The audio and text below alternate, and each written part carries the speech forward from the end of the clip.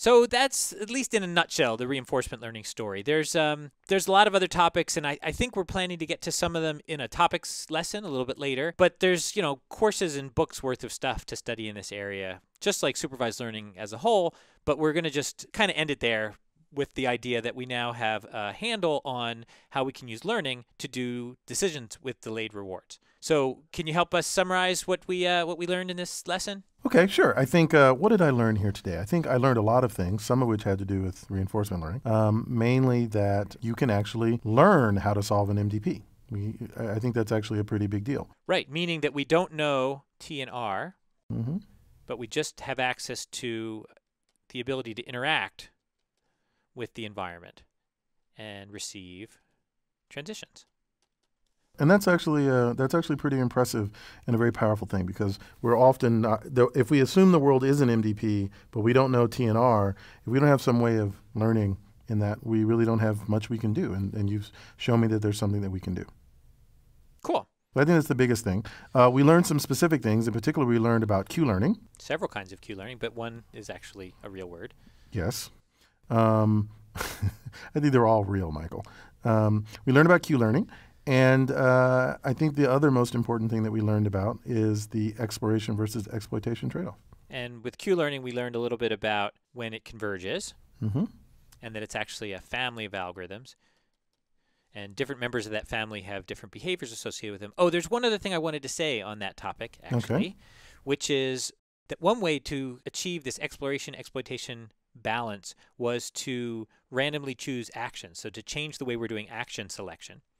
But there's another one too, which is that we can actually, by manipulating the initialization of the Q function, we can actually get another kind of exploration. Can you see how that might work? Oh, I know. You, if you could, if you set, say, the Q values to all be the highest possible value they could be. Right. So if we initialize the Q hat to awesome values, Mm-hmm. then what the Q learning algorithm will do, even with greedy exploration, what it will do is it'll try things that it hasn't tried very much and it still thinks are awesome. And little by little, it gets a more realistic sense of, of how the environment works. And So it's very optimistic. that's right, exactly. And it's referred to often as uh, optimism in the face of uncertainty. And it's a similar kind of idea that's used in algorithms like A star, if you're familiar with uh, search algorithms in AI. Oh yes, I remember those. But this is this is a really powerful idea, and it's used in, in reinforcement learning and bandit algorithms and planning and and search. Okay, and that makes sense because if everything's awesome, then your true Q value can only go down if awesome is bigger than the biggest Q value you could ever have. And so that means you're going to look at every single action.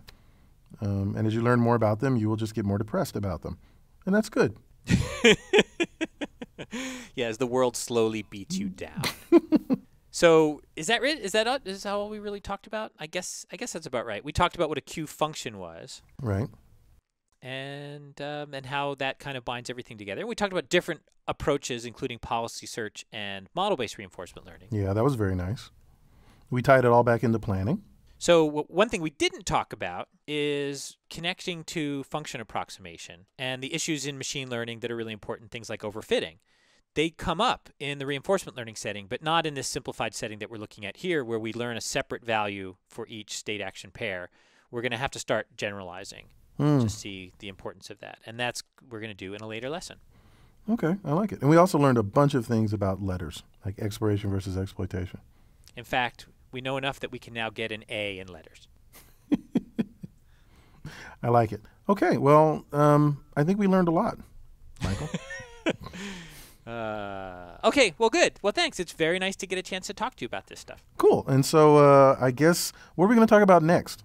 Well, um, whatever it says on the syllabus, I think it's game theory. that's pretty cool. Oh, and I see why we're going to do that because right now all we've been doing is talking about the world as if there were just one agent and nobody else. And now we're going to see what happens when there are other people Right. Other people show up at the party next time. on machine learning.